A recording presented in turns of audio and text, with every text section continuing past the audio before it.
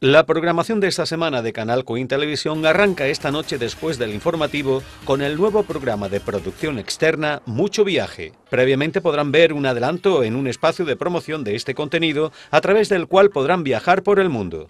Mañana martes les ofreceremos el primer programa de la nueva temporada de Memorias de una campesina.